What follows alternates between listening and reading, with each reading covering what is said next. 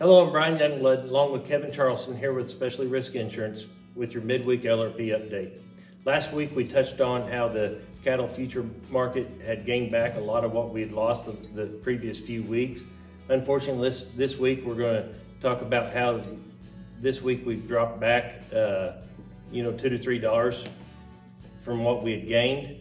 Uh, Kevin, tell us what your uh, your opinion is on what's driving the market back and what why we're seeing this up and down market and how LRP can can kind of help protect the livestock producers. Well, it, looks like just like before, it's not maybe some of the fundamentals of the of the livestock market, but we got the the uh, stock market bouncing around, uh, a lot of uncertainty in the oil side. It's cold and wet up north. We can't get the corn in the ground. A lot of variables right now, and, and, and that went back to in February where it was pretty steady. You know, in January and February, we were looking at 183, 184, right. and a lot of these cattle we got locked up on this LRP contract. I think today you, you were talking to me, and it's traded at 169 For, today. Yep, yep. Um, August market is. August is so. You know, that's a that's a $15 spread on that piece. So that hopefully we took that LRP contract. It cost a little more back then. You know, it was probably a six dollar per hundred cost on 800 pound steer, which is quite a bit, but it's a big win for them today. We hope. Um, you know that that piece of that piece of this product gives you that ability whenever that thing looks pretty good and you're comfortable with it, you can take it, know what your costs are and walk away from it.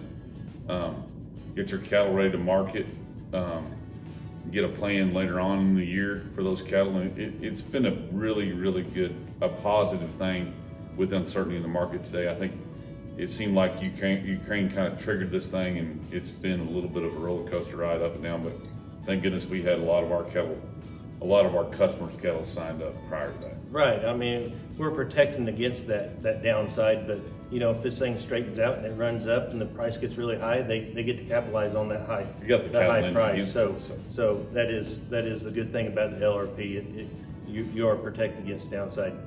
One thing we want to touch on too is uh, we want to invite everyone out next Friday, May 20th, to the Four State Farm Show over at Pittsburg, Kansas at the Pitt State University at 3 o'clock at the Bicknell Center. We're uh, having Corbitt Wall and Skylar Moore as guest speakers along with Kevin and I. We're going to touch on the cattle market and livestock risk protection, how it can help be benefit to uh, cattle producers.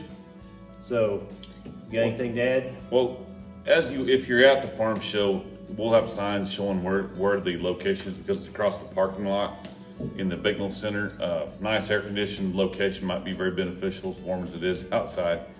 And there is a uh, QR code on all those signs. If you take your phone and open your camera and go across it, it will tell you how to walk there from where you're standing. So it'll give you, just for directional purposes, that uh, it could be a little bit confusing over there. So, you know, if you have questions, come by our booth or Joplin Stockyards booth. Uh, we're right next to each other in the uh, in one of the uh, trade shows. So come by and see us, give us a call, and uh, we'll get you fixed up and show you where to go. You know, also before I before I forget about it, we are going to if you sign up online or at the show, we are going to give away a uh, pellet cooker.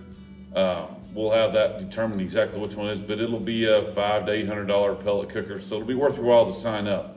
Uh, we'll get that sign up online by next week. So, and we also keep in mind we will be live streaming.